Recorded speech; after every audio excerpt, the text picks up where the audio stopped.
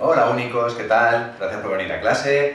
Aquí estamos otra vez y en este caso con un sistema de ecuaciones de segundo de bachillerato, un sistema de tres ecuaciones con tres incógnitas. Me pide uno de nuestros únicos que haga el método de Kramer. Bueno, pues el método de Kramer se utiliza para resolver este tipo de sistemas siempre y cuando el sistema sea compatible determinado, es decir, que tenga una única solución. Para ello habrá que discutir el sistema, bien, o directamente que nos digan resuelve por el método de Kramer. Yo voy a asumir que el sistema es compatible determinado y lo voy a resolver con este método, ¿bien? Para poder hacerlo así hay que saber hacer determinantes y es muy sencillo.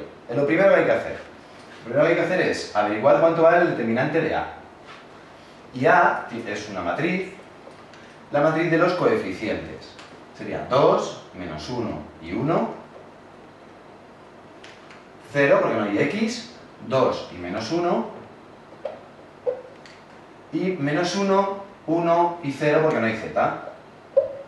Primer paso, este, muy importante, tener cuidado porque a veces os confundís nada más empezar el ejercicio con estos numeritos y ya os sale todo el ejercicio mal.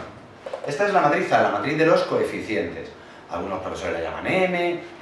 Y la matriz ampliada, la voy a poner aquí al lado, también la llaman de muchas maneras, es esta misma matriz con los mismos numeritos y además los numeritos, estos de aquí, los coeficientes 3, 1 y 1. 3, 1 y 1. Esta es la matriz A y esta es la matriz ampliada.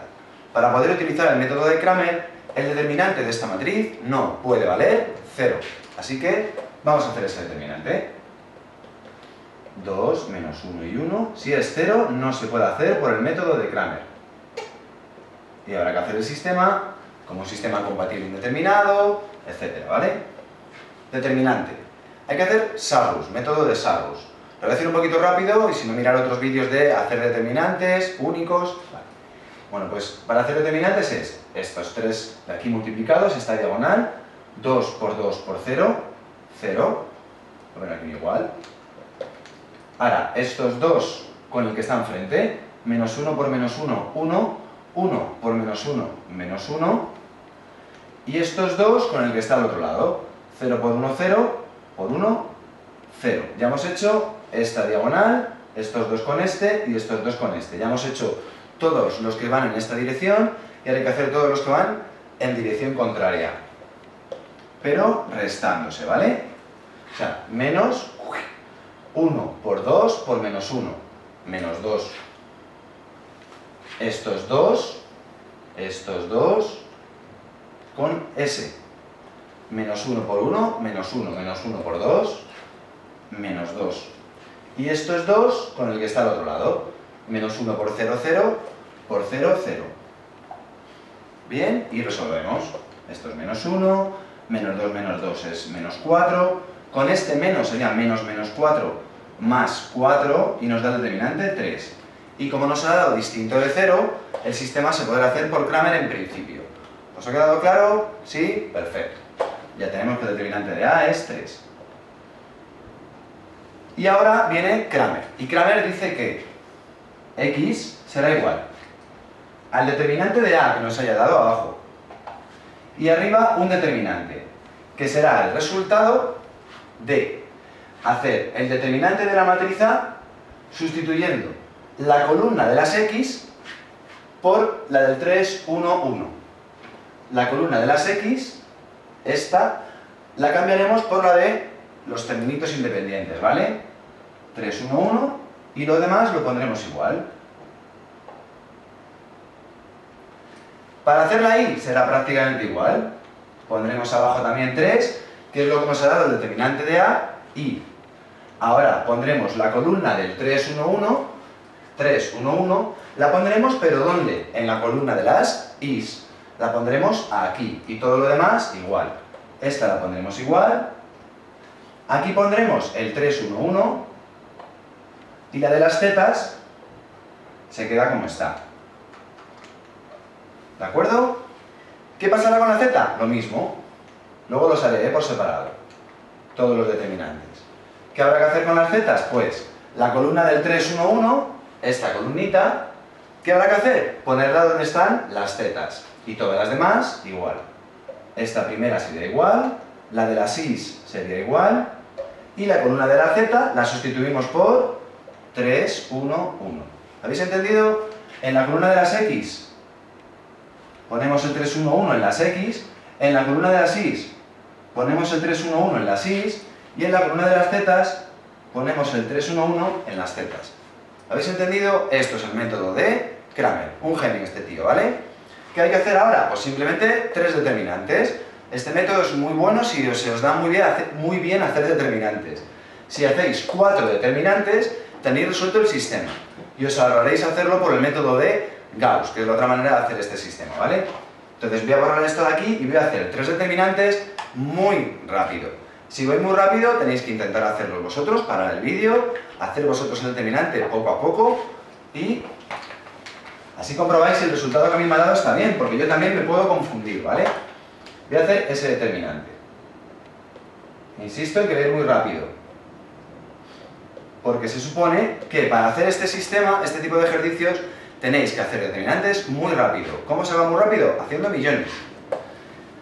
0, 1, 1, menos 2, menos 0, más 3. 1 más 1, 2, menos 2 es 0, nos da 3. Así que esto de aquí sería 3 entre 3, que es 1. ¿He ido muy rápido? Sí. ¿Cómo conseguís ir igual de rápido que yo? Haciendo muchos. ¿Habéis entendido? Seguro que no.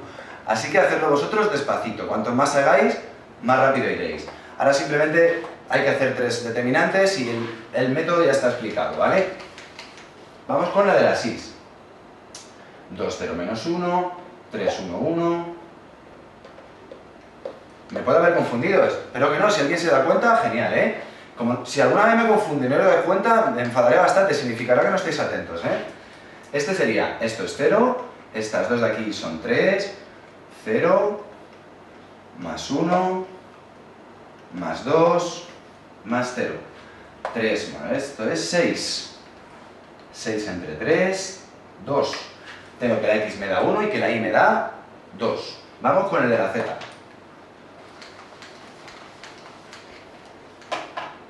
2, 0, menos 1, menos 1, 2, 1, 3, 1. Y para que no digáis, le voy a hacer más despacio, ¿vale? Este con este con este sería 4. Este con este menos 1 por 1 es menos 1. Con el menos 1 sería más 1. 0 por 1 por 3 es 0. Y ahora en lugar de poner menos y poner un paréntesis, yo lo que hago es hacer todos los que van en el sentido contrario y cambiarlos de signo. 3 por 2, 6, por menos 1 es menos 6, lo cambio de signo, más 6. 1 por 1 es 2, por 2 es 4, lo cambio de signo, menos 4 y 0 por menos 1 por 0, 0. 4 más 1, 5, 5 más 6, 11, 11 menos 4, 7. ¿Vale? Qué raro, este me da 7 tercios. Lo volvemos a hacer, a ver si, por, hacerlo despacio me he confundido a lo mejor. Este es 4, este es 1, este es 0, este es menos 6, cambiar de signo más 6, 0, ajá, este es menos 6, este es 2, ya decía yo, ¿vale? 4 más 1, 5, 5 más 6, 11, 11 menos 2, 9. 9. Y esta sería la z. Tenemos que x es 1, que la y es 2 y que la z es 9 tercios, que es 3, ¿vale? Yo voy tan deprisa que cuando quiero hacerlo despacio me confundo bastante más, ¿vale?